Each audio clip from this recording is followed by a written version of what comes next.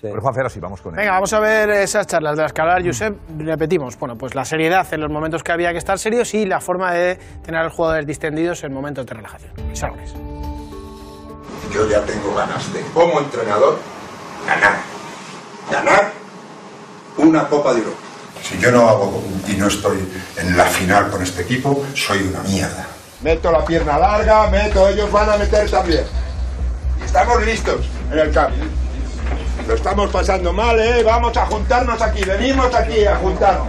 Y si podemos machacar, vamos y machacamos. El rubio, ese que tiene el nombre tan raro, echado ya una vez. Y si somos listos, le echan otra vez. Y meterle raro, es decir, en la próxima a mí. Como nosotros tenemos ahora jugadores más conocidos, los árbitros les gusta. Les gusta que le des una palmadita. Y le digo al Liniere, Joseph, Joseph, y no sé ni decir. Del subcampeón no se acuerda nadie. Están que si somos, que si hacemos fiesta, que hacemos fiestas y le ganamos. Y como somos mejores, además le vamos a ganar. Ahora, el subcampeón nadie. Eh, eres subcampeón de no sé qué, va, el subcampeón.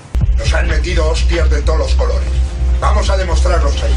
Vamos a demostrarlos ahí. Y cuando estoy cansado levanto la mano y sale un compañero. Tela, ¿eh? Tela. ¿Eh?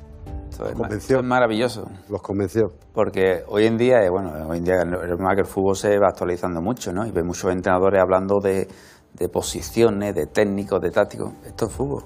Que no ha dicho nada del otro mundo, ha dicho las cosas como dice Pero también está la otra parte, ¿no? Está la otra parte, sí, Esto es pero, más llamativo, luego está la parte pero que esto es lo que llega al final. Al jugador, lo que le llega es esto al final. No, Él mete la que pierna decía, más Los fuerte. pequeños mensajes decía César, Sí, sí. de los mensajes del rival y de tal, pero justo para no agobiar. No, es que lo que ¿Viste dice- la agobia que le habla